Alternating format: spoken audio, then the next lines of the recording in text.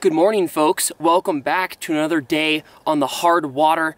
Uh, today, we are going to be actually doing something a little different. I love hard water, I love eating fish, and I decided we were gonna try to combine those two into uh, a whole day. So basically, I brought the stove, I brought the all the seasonings, everything I need, and yeah, we are gonna be doing a catch and cook on the ice. It's gonna be pretty cool. I'm looking forward to this. Hell yeah, stay tuned. Hope you guys enjoy the video.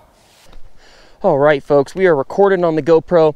This is a lake that's fished a lot, and so there's already a lot of holes pre-drilled on the ice. And one thing you can do when you're, like a little tip, when you're approaching a lake like this, is if you notice, a lot of these holes are kind of clean here.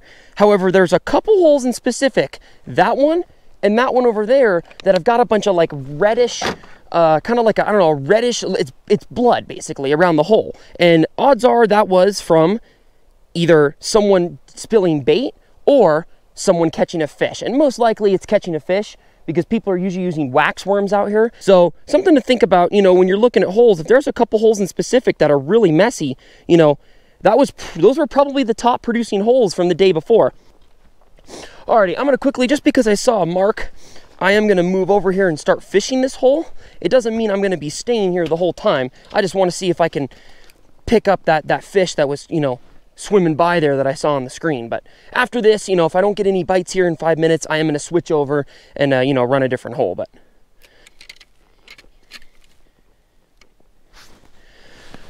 jaw jacker, jaw jacker is set out.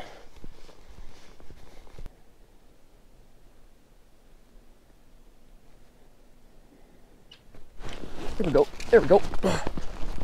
There we go.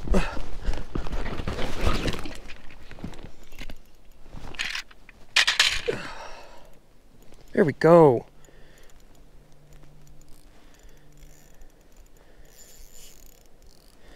There we go, the jaw jacker. Struck first. Whoa, frick, it's a nice, it's a nice brown.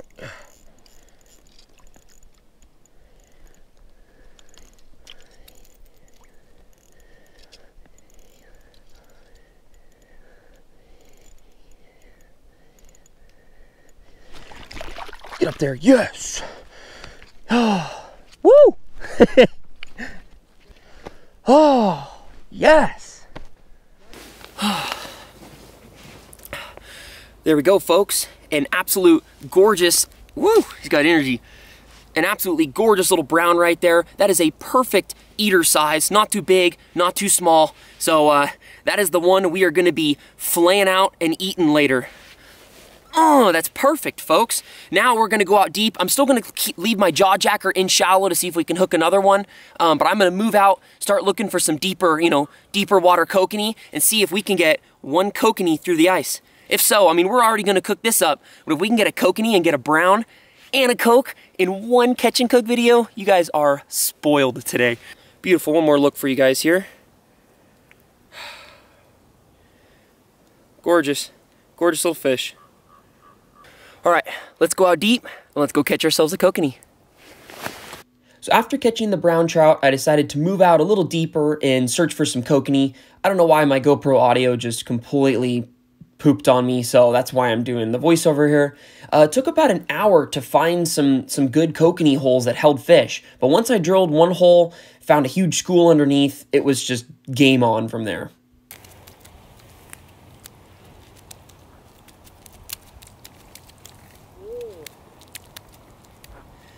Holy smoke. There we're on. Folks, we found them.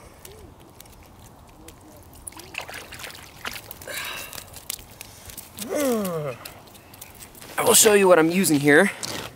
I was recommended by uh, the guy next to me here to use a little Swedish pimple, and I just tipped a little nightcrawler on the end. Probably a 1 8 1 8 ounce, drops pretty fast. We're in 35 feet of water, and basically the bottom 15 feet is just all fish. So this is fun. This is the kind of fishing I like to do.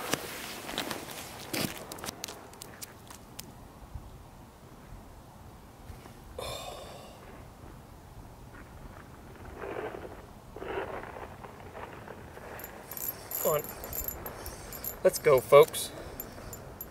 We are on fish number three.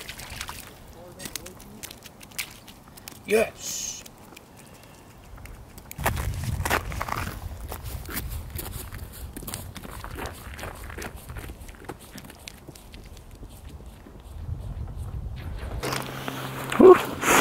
Alrighty folks, the time is now 9.13. I just limited out on kokanee, so I've got the rods up.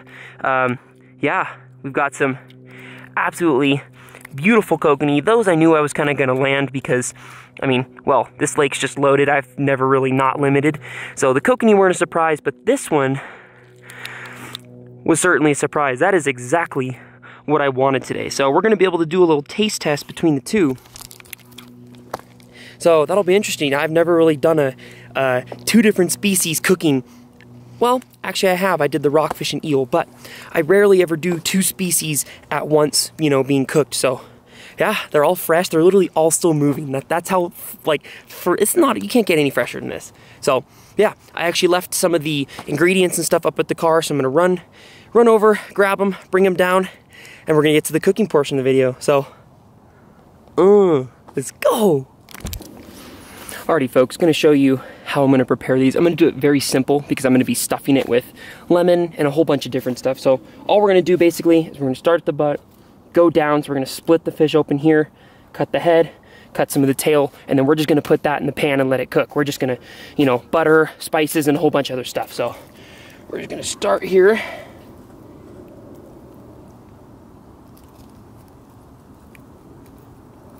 There we go. Once you have grab, work our way up here.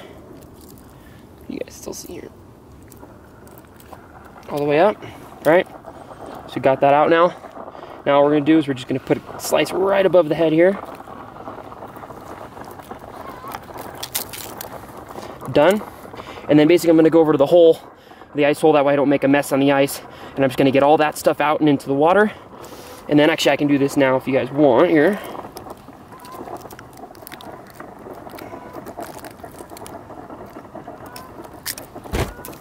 Boom. And that right there is all we need. It's time for the brown here.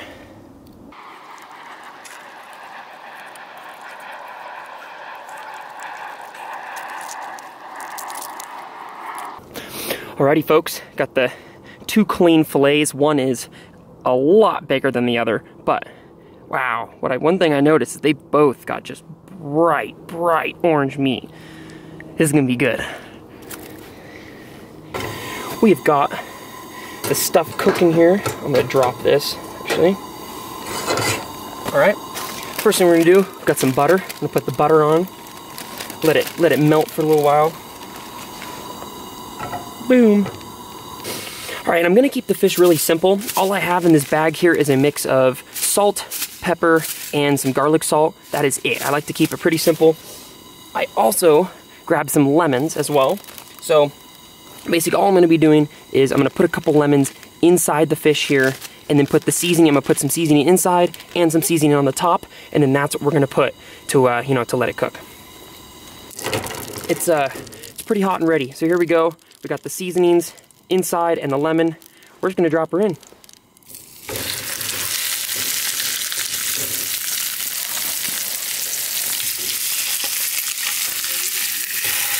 Oh my goodness.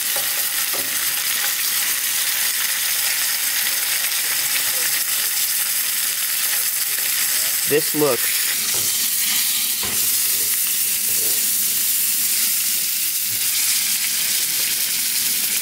Alrighty folks, the kokanee is done. Got my plate here.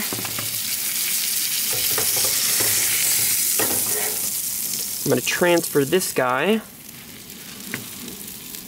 over to the plate.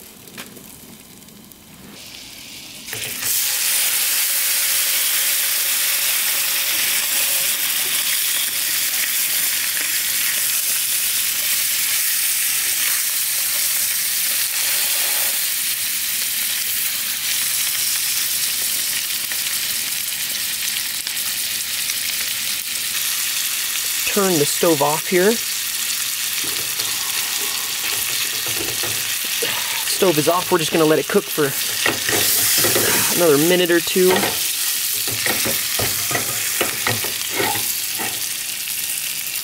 Oh, man.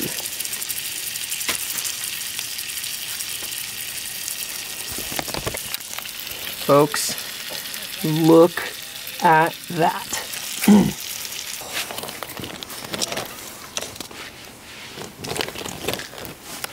folks, folks, folks, that looks so freaking good. So I have tried a piece of the kokanee already. It tastes pretty damn good, but I'm gonna take all the skin off on the fish and then I'll show you guys, do a little, do a color comparison and taste. What's nice is when you cook it a little, I usually like to cook it a little bit more. Um, skin just flakes right off. The nice part with the kokanee too, I don't know if you guys can see this really well, but when you cook it like that, look at this. Just fold this out a little bit right here. All I'm doing is folding it out. And the whole, look at that. Every single bone completely out. Now I have just two perfect fillets, maybe a couple bones, but they're really small. So, oh, perfect. Uh, I'm to take one more bite of the kokanee here first. So, oh, look at this. A nice big chunk.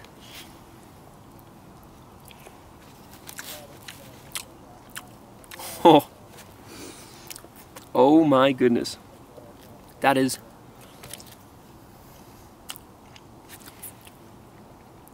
It makes me happy. Alright, so I had a piece of the kokanee. Now I'm to instantly take a bite of the brown to see if there's a big difference. Oh, it just flakes. Here's the brown right here.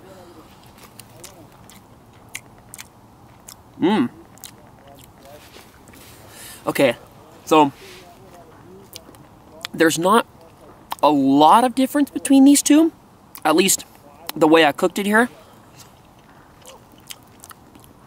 They both taste pr pretty dang similar.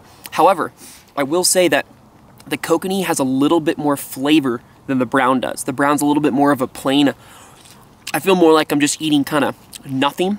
Um, or I'm eating a little bit, like I'm getting a lot more lemon and other flavors in the brown. And I use the same amount of stuff on each.